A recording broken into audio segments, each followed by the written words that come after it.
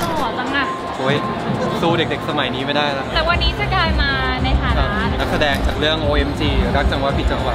เข้าชิงรางวัลนำชายเช่นกันครับขอบคุณมากครับไกายน่ารักอะก